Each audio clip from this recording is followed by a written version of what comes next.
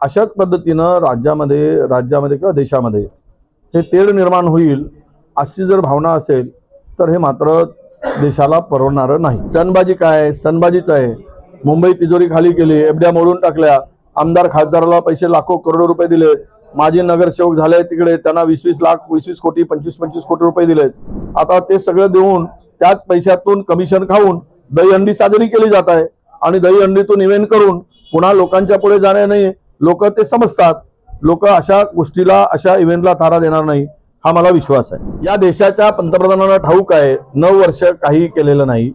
आणि केवळ धर्मांध जातीय विष पेरल्याने यश मिळतो हे कदाचित भारतीय जनता पक्षाला ठाऊक आहे. आणि म्हणूनच त्या दृष्टीनं पंतप्रधान आपले अशा प्रकारचे वक्तव्य करत आहेत असं मला वाटतं.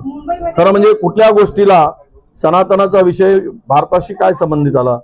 त्यांनी आता त्याला ते भारत किंवा इतर राज्याशी फार काही संबंधित हा विषय नाही. म्हणजे त्यांनी बोललेल्या वक्तव्याचं म्हणजे अर्थाचा अनर्थ नको. माझं मत एवढं आहे की सनातनाचा विषय त्यात अं, इथे तामिळनाडूमध्ये काढला गेला. इथे तर महाराष्ट्रातल्या कोणत्या नेत्यांनी तो विषय काढलेला नाही. पण यांना कर्नाटकामध्ये जसं बजरंगबली उचललाय कोणीतरी काहीतरी आमच्या पक्षाच्या लोकांनी त्या एक लाईन टाकली त्या भरोशावर तर पण तिथे निकाल काय आला हे माहीत आहे. अशाच पद्धतीनं राज्यामध्ये राज्यामध्ये किंवा देशामध्ये हे तेढ निर्माण होईल अशी जर भावना असेल तर हे मात्र देशाला परवडणारं नाही. मुंबईमध्ये निवडणुका लावण्यासाठी दहीहंड्यांचं भाजपकडून मोठ्या प्रमाणात नियोजन केलं जाते. याला तुम्ही स्टंटबाजी स्टनबाजी काय आहे? स्टनबाजीच आहे. मुंबई तिजोरी खाली केली एफड्या मोडून टाकल्या. आमदार खासदाराला पैसे लाखो करोडो रुपये दिले. माजी नगरसेवक झाले तिकडे त्यांना वीस वीस लाख वीस वीस कोटी पंचवीस पंचवीस कोटी रुपये दिलेत. हा पैशाची उधळपट्टी करून इतके वर्ष झालेत मुंबईची तिजोरी भरली ठेवली तिजोरी. ते खाली करण्याचं पाप केलं गेलं. आता ते सगळं देऊन त्याच पैशातून कमिशन खाऊन दहीहंडी साजरी केली जात आहे. आणि दहीहंडीतून इव्हेंट करून पुन्हा लोकांच्या पुढे जाण्याने लोक ते समजतात.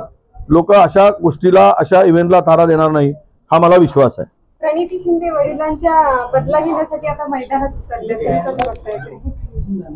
असं आहे कुटुंबातून प्रणिती आमच्या एक अशा महिला नेत्या आहेत की ज्या कणखर नेत्या लढाऊ नेत्या आणि एकदम तशा सोजवळ शांत नेत्याही आहेत. सातत्यानं काम करत राहणं लोकांची कामं करत राहणं हा त्यांचा नेहमीचा शिरस्ता राहिलेला आहे.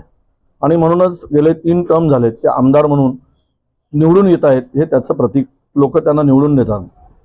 कदाचित लोकसभेमध्ये सुद्धा लोकांची भावना तीच आहे की प्रणितीताईंनी लोकसभेचं नेतृत्व करावं अशी भावना त्या भागातील असंख्य कार्यकर्त्यांची आहे तर ती भावना पूर्ण करणं हे हायकमांडच्या हातात आहे. सर आज आपण अकोला अकोला पा- पाणी पडलं.